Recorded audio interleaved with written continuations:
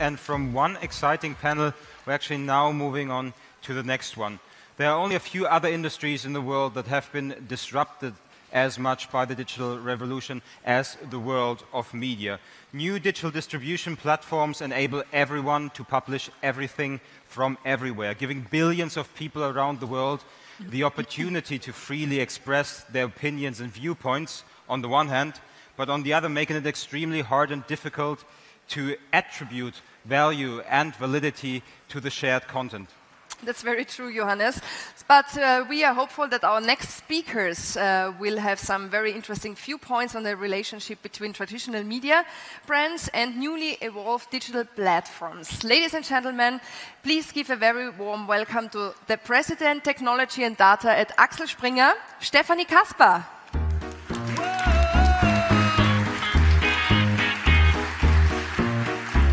And applause to Robert Richter, who is responsible for Google's partnerships in the sectors of broadcast media and entertainment in the EMEA region. Welcome. Yeah. The head of news partnerships for Central Europe at Facebook, Guido Bülow. And the general director of the Austrian Broadcasting Corporation, ORF, Alexander Wrabetz. And the panel is moderated by Jeff Jarvis again. Welcome on stage. Again, yes. Again. Uh, good morning again. Uh, so now we have media and the platforms. Uh, my goal is to have this end in a group hug uh, where, where everyone, everyone adores everywhere else. I, I think we, um, there is a reputation among media, especially Springer, uh, of fighting hard with the platforms. Uh, and, and we'll get into some of that, I think. But, but I also think that we constantly head to a new um, reality. And the new reality we have, I was a little less blunt about this in the last panel because I had the ambassador on stage. But as an American, in the age of Trump, uh, just yesterday, once again, uh, he went after journalists as the enemy of the people. Uh, and now he's going after the platforms and he's going after facts, and he's going after the sanctity of information. And so I would argue that everyone here is on the same side when it comes to that. And we have a new reality that we have to deal with. Uh, I don't want to make this American centric, but, uh, but in terms of Donald Trump, I apologize to you all for what's happening. Um, so let's start with the positive. Uh, what's going right in the relationship between media and technology? Stephanie. Yeah, I think, um, as you said, we have a reputation for fighting hard, but also we believe in something, and we believe in free speech, and we think we need a business model for journalism, and we see a lot of things going on that are turning into the right direction. So I have two colleagues next to next to me on this panel, and we we are in very good discussion around what a business model for journalism could look like when a lot of stories are discovered on platforms and not on our sites, and how we could work together on this and we make good progress. Um, so we see um, a new product on Facebook where our subscription uh, offerings are supported and where, of course, we don't get it right the first time, but we are in very good mode to experiment and to learn as we go along. And we have a whole initiative at Google, Subscribe with Google, uh, being one of it, but also how we work with data, where we collaborate in, ver in very good terms. So um, I would say a lot of things are happening. We cannot expect that we get it right for the first time. The approach is the right one. Alexander? Of course, it's uh, the topic uh, uh, for us as classical media, being the the market leader in classical television and radio and classical online here in Austria, how to, to transform ourselves into the new world. And of course, we are challenged by platforms like Google and Facebook. However, we have to recognize they are not so strong because they were supported by the US Marines, but because they offered services which obviously are appealing to the people. But now they got also this strength and uh, therefore it is important to discuss uh, a policy. I'm not talking about regulation, but about policies, which is the best way to protect an uh, European information ecosystem in a way uh, uh, where it's not the danger that the, the, the, our democracies are uh, influenced by uh, users of these platforms in a way where it put in, is, uh, democracy is put into danger from outside or even inside. And I see these discussions, which are ongoing now for one year, have also led to some reactions by our uh, colleagues. Uh, I think it's a better understanding now that it is important, even if you don't produce your, the media content, the information yourself, that it is important that on these platforms, on the one hand side, you avoid to have contents which are really against uh, democratic uh, rules, and on the other hand side, to have a strong journalistic media ecosystem uh, which is uh, supported and not damaged by the platforms to counterbalance uh, the misuse of uh, information in the, in, the, in, the, in the sphere of the platforms. I want to come back to that, that question of manipulation in just one second, but what's going right, gentlemen? Um, um, so I would disagree that we challenge you. I think um, what really has changed is, or technology has always had an impact on the media industry, right? And I had, had an interesting breakfast with Max Giordano this morning, who is later on stage here, and we were thinking back to the year 2005 um, I started in television in 2005, and uh, we had just a couple of hundred million smartphones back then. Today we have over three billion smartphones, and smartphones and technology really changed the way people are consuming media, not the platforms. So, um, and I think we have, we have to keep that in mind that we have a really convergence of devices, platforms, content providers. And um, for Google, I mean, for us, it's, it's really important to support the media industry because we have this mission, we organize the world's information and make it universally discoverable. Um, and um, this accounts for content as well. So for quality content, for news, our job is to connect audiences with um, suppliers of content, with suppliers of news. Uh, and we are only su successful when our partners are economically successful. Um, and in the case of ORF, um, when they are successful to deliver quality information and to fulfill its public mandate, then we are successful as well, and we have to keep that in mind. Know. Um, I only can echo that, to be honest. Um, I mean, we have seen, or we know, first of all, that our role of, has, has changed dramatically in the last couple of years. Um, um, the role of Facebook, our responsibility, and we take that responsibility. And um, especially when we're, when we're, when we're, working together with, with publishers, we understand much better now, much clearer now, that um, publishers are um, one of the core pillars of a democ democratic society. So what can we do to support the democratic society is to support journalism, to support publishers. And um, Stephanie just mentioned that. I mean, we're building for publishers like subscription products. We just launched uh, video monetization on Facebook to support journalism. We're also looking into um, having uh, donation, supporting donation models for freelancer journalism um, or those publishers that aren't technically having a, a, subscription model, for example, the Correspondent or Zetland in Denmark, which is different models. So we're looking at all these different kind of, of models to support high quality journalism on our platform. So let's now go to the topic that, that you raised, Alexander, about, about manipulation of the platforms. And, and, that's the way I tend to look at it. I, uh, uh, a leader in our field, uh, Claire Wardle, says don't use the term fake news because it has been co opted by others. And I think what's going on is there are are bad players trying to manipulate all of us, media included. Mm. And, and we have a common, again, a common enemy, a common foe. Um, and I think there's been a fundamental change recently, which is important for this relationship, which is that, and, and I'll put myself here, I believed strongly, dogmatically, in an open internet, and that openness was the, was the value that we really had. Um, the problem is that we've all learned that openness leads to manipulation, to trolls to bad actors. We knew that about spam. Now we have um, psychologically motivated bad actors, which are trolls, and politically bad mo- motivated bad actors, which in our case tend to be Russians.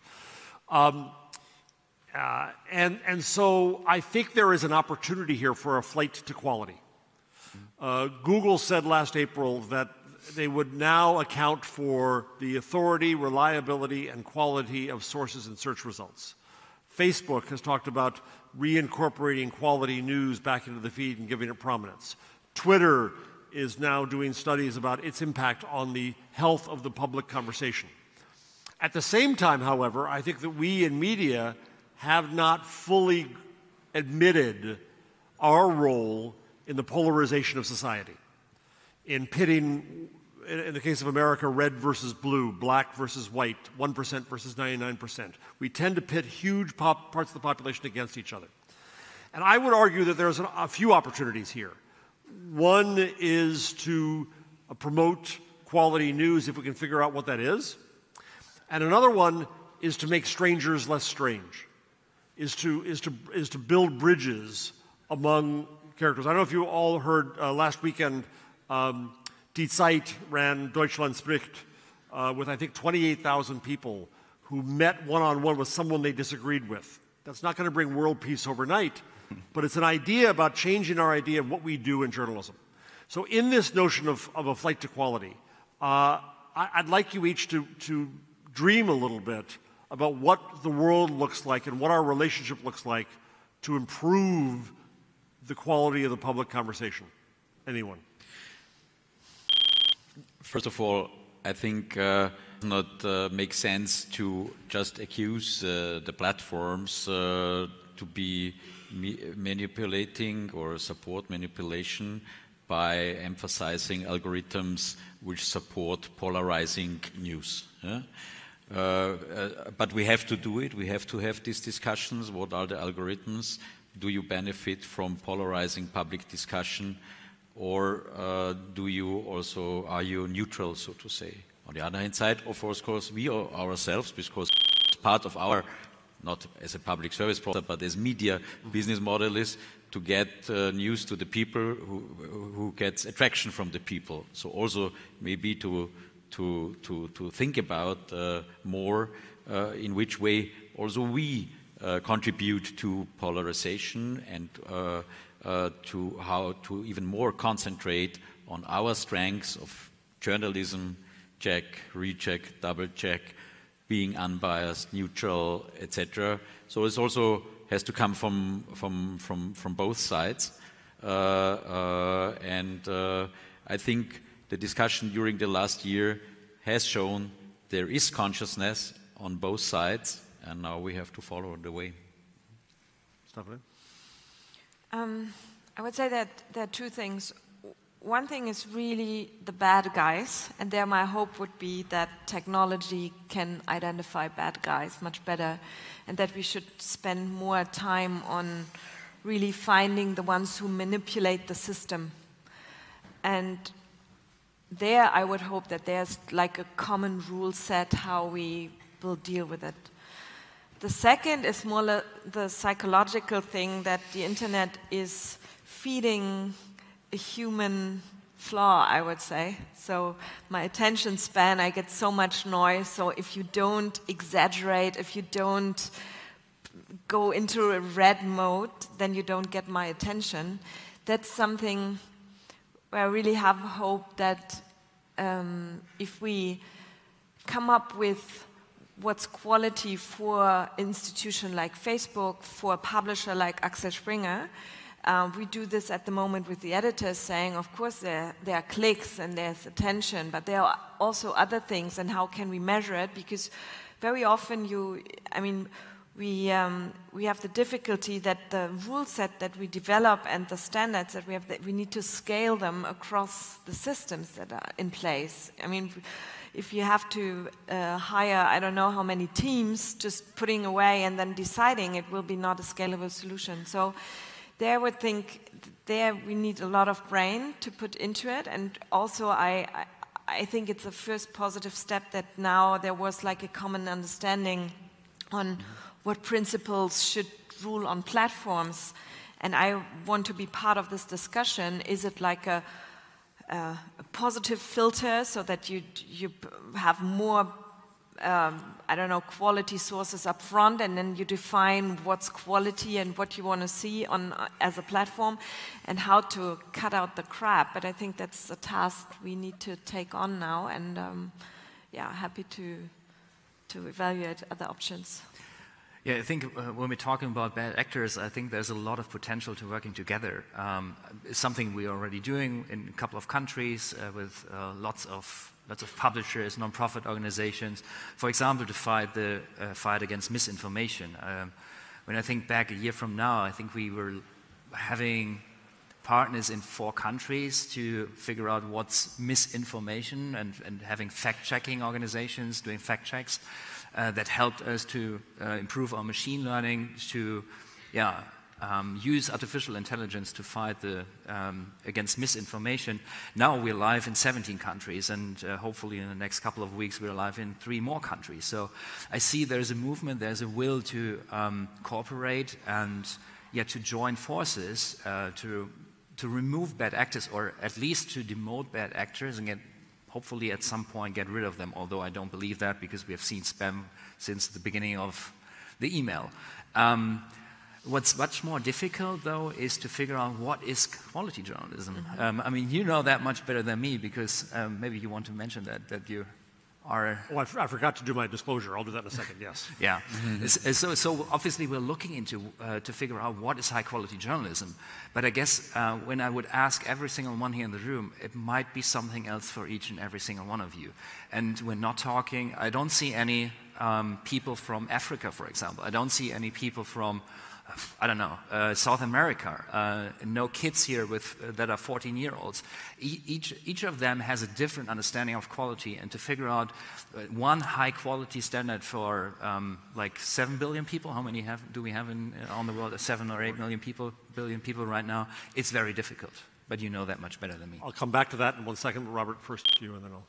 And I think there's another angle to it. How can we help um, so trusted guides of today um, to distribute their content to the audience. Um, uh, Mr. Wrabetz's job really got complex. I think, you know, back in the days you only had a, one linear channel where you, where you deliver content. Um, and today you have to deliver content uh, to Facebook, to Instagram, to YouTube, uh, to whatever platform is out there.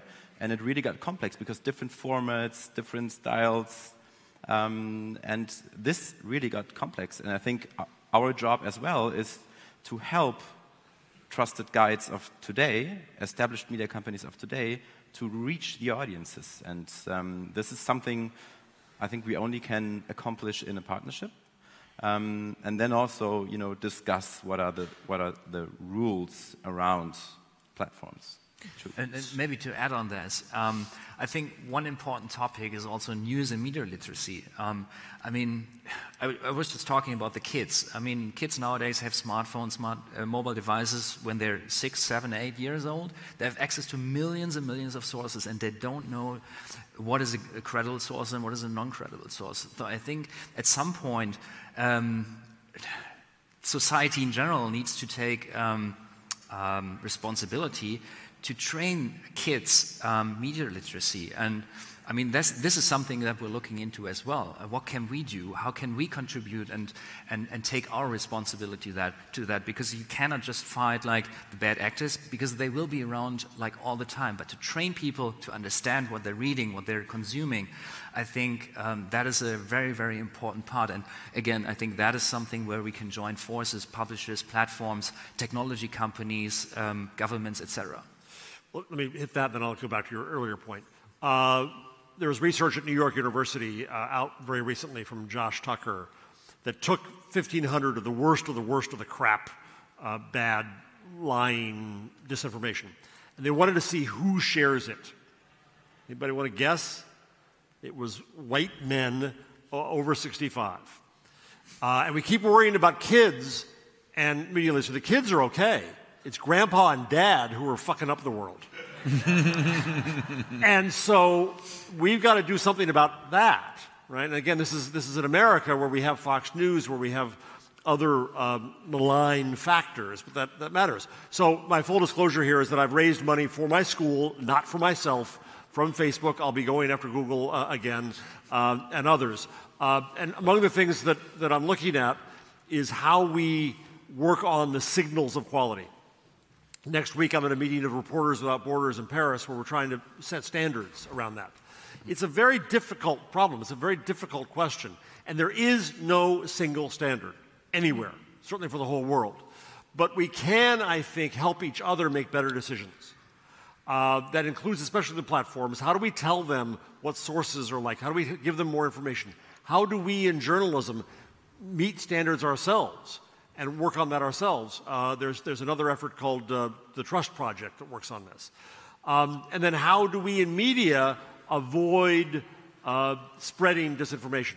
There's a brilliant researcher in the US named Dana Boyd who gave a talk last week to the Online News Association in which she argued strenuously that we in media are amplifying some of these lies and, and, and, and issues of hate.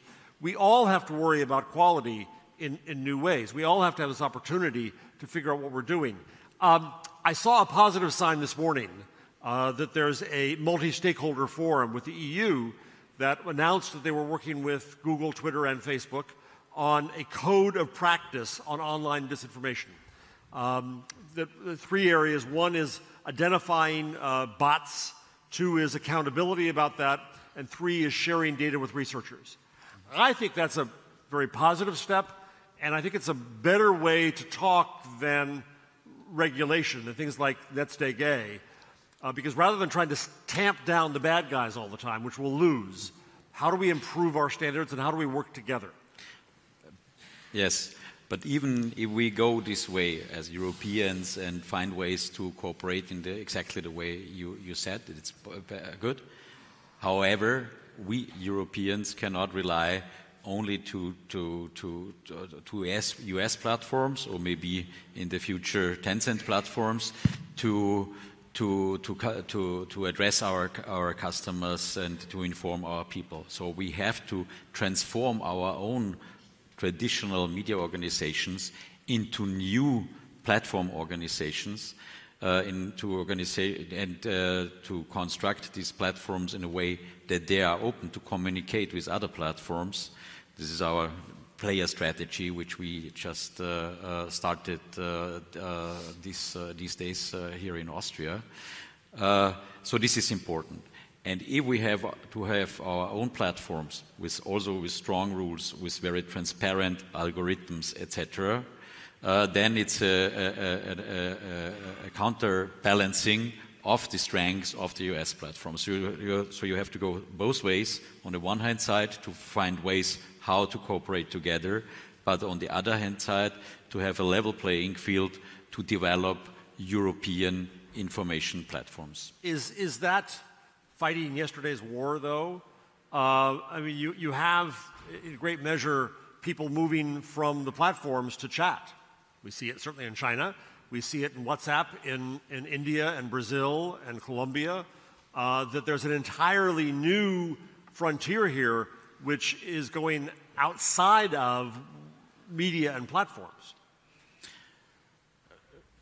If it's the yesterday's battle, it's a good and an important battle. Okay. Yeah, because if you lose the direct access to your customer mm -hmm. totally, yeah, uh, then it will be very difficult. And we cannot rely in the long run to have good discussions on the European levels with uh, multinational enormous big companies which are which have all together the three of you maybe have together a, a cross, cross national product uh, similar to several European countries.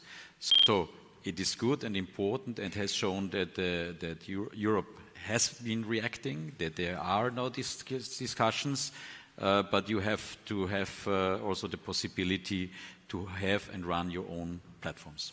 Stephanie, I, don't by the way, I, ahead, I, I, very much agree. So I think it's very, very important to have uh, an owned and operated platform like the ORF player, and I think we think it's a great project, uh, which we very much uh, support. So ORF has the advantage, which you've often spoken of, being a public entity with public responsibility. Uh, so you don't have to worry about what everybody else has to worry about, which is the attention-based economy. Stephanie, do we have a business model problem? Besides the obvious that we don't have enough of it. Yeah. Um, but in terms of a media marketplace that is built on attention, mm-hmm. is that fundamentally corrupting? Uh, that we, oh, we, we end up with clickbait, we end up with cats, mm-hmm. uh, or Kardashians, or Trumps, or mm-hmm. whoever. We end up with sensationalism. Do you have any optimism about reinventing the fundamentals of media? Mm-hmm. Um, I, I think that as a, when we first entered the internet and we're so thrilled that we could reach so many people, we left out one thing that was the direct customer relationship and to really understand what's a good product about. And this is also something I discuss always with Facebook and with Google. So if we want to if we want to have a business model which is stronger than the one that we have at the moment, which mainly consists of advertising and a bit of paid content, um, we need to be in a position where, although we use platforms to reach customers, we need to be in a direct relationship and we need to understand the needs uh, of our customers better. So when the platforms are black box to us, we are just providing the content and then we are left out of it, we will not innovate to make a stronger model. So, more concrete to your question, um, we see that paid content now is finally picking up, but to be very, I mean, I'm optimistic, but I think we need to find a third and fourth pillar with more revenue sources, because what journalistic brands bring to the table is, of course, high reach, trust, a lot of engagement, and it's like, of course, you get the fans that will have a subscription, but then you need to cover more basic needs yeah. of, of people. And every brand needs to find out what's the best strategic fit. Do you move more into commerce field or do you provide other services or whatever you want to do with the audience that you have? But that's why I fight so hard for the direct customer relationship because if I don't have that for a significant portion of people who view my content, I cannot innovate with new revenue sources. We heard from, from Tencent this morning, uh, I love this line, which I'll steal now, is that, is that you don't see yourself as a platform, you see yourself as a tool, which means you see yourself in a position of helping people in their lives and doing what they want to do not what we were trying to tell them to do, mm-hmm. which is a different attitude than, than yeah. we've had, I think. Yeah. Um, you guys are in the same business model. You know, it's whatever what is wrong with it. We we started it. No, I, I agree. So I think so. Um, what you just said, we live in an age of instant gratification, right? Everything has to be super quick, and um, and what you describe with clickbaiting, that's you know uh, that's advertised business model. And so I agree with you. We need to find new business models. How can we monetize content and quality content? And it's individual. What you, what you just said it before, and I like that. Um, quality is always different for everybody, right? Um, and um, I don't have an answer. What is what is the new business model to monetize the content industry? Um, and I think we can only you know, work on it together, and it's a constant discussion. And subscription is maybe one thing, and, but maybe there are some business models out there that we cannot think about today, and um, we, will, we might develop them in the future. but what I have to say, we would not need a new business model. We classical media, if the two of you, not personally, would not be around. Yeah? because exactly of the fastest growing part of the advertising market, which was financing media in the in the in the last uh, well, 150 years, 100, 150 years, yeah. Uh, the fastest growing part of it uh, is consumed by the two of your uh, companies. You can't wish the internet away. I, Exactly. No, I come no, back to my earlier point. It's no, technology. I just want to explain the reason why we have to look for new business models and uh, uh, uh, which is exactly the case. So that means if you okay, okay 70% of my business model is public service broadcasting, so this is quite You're secure. Pretty damn lucky, yes. But 30% of it is advertising, so we are in the same uh, boat as, as, as uh, Springer. And uh, so we have to, to, to, of course, we have to develop uh, means, and I think uh, that uh, pay is, uh, in particular for, for, for commercial uh, editorial uh, products a way which has to be developed. But on the third, column will definitely be the business model uh, of a data-driven business model. And there we have to be very careful on the one hand side to get level playing field, to get more transparency, to get a certain degree of uh, regulation, to get uh, copyright rules for European media in, order to develop a new business model, as you said.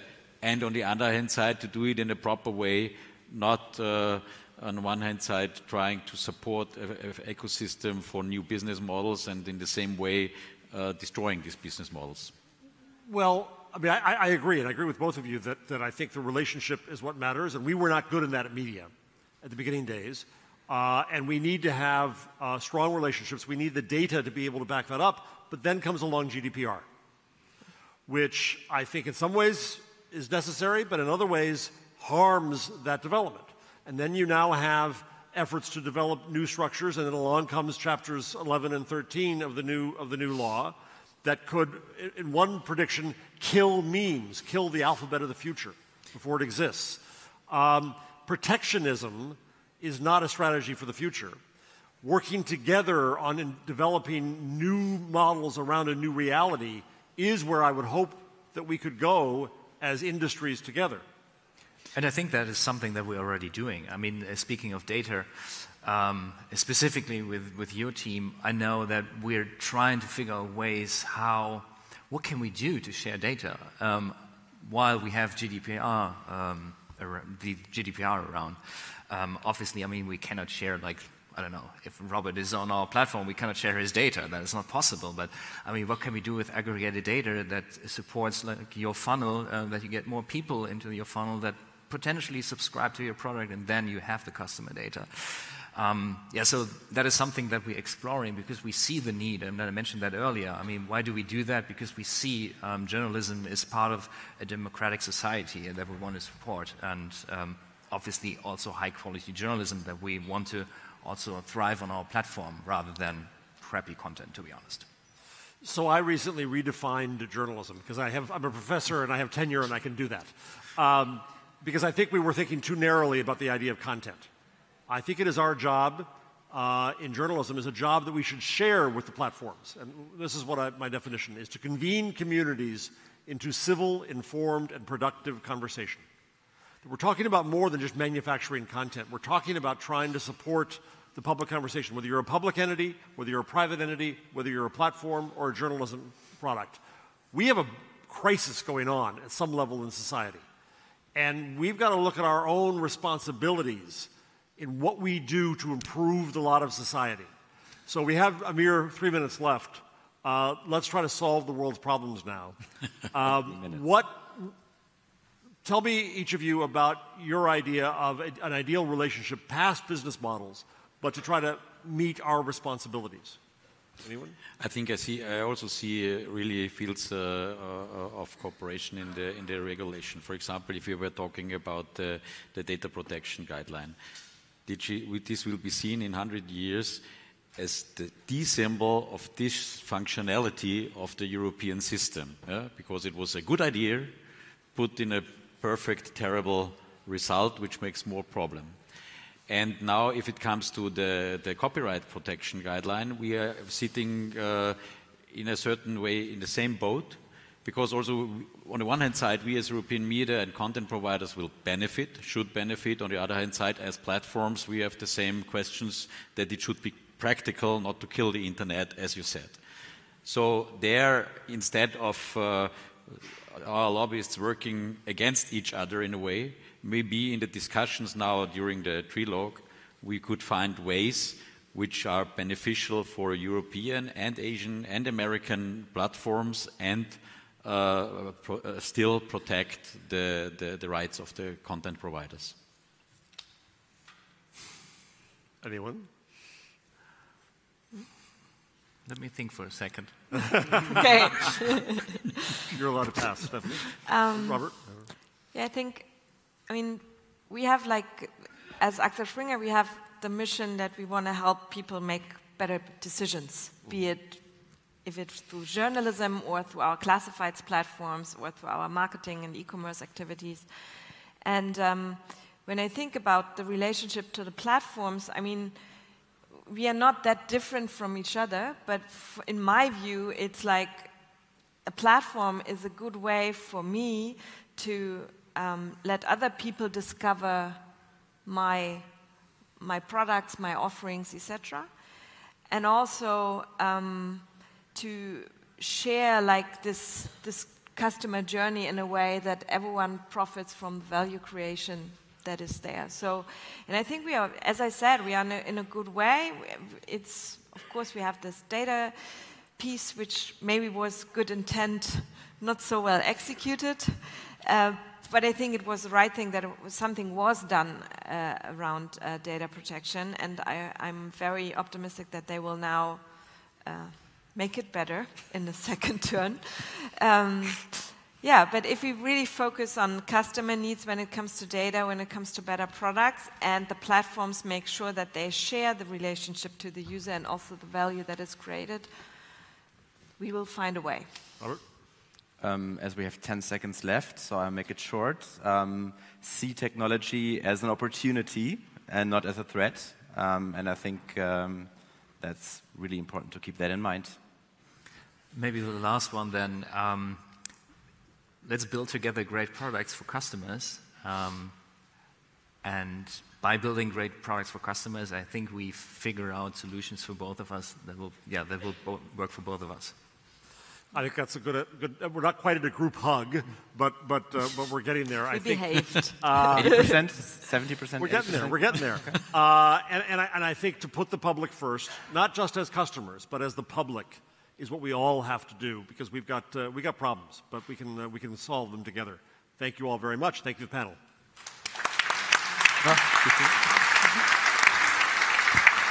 So, geht sich dann aus. Guten Glück.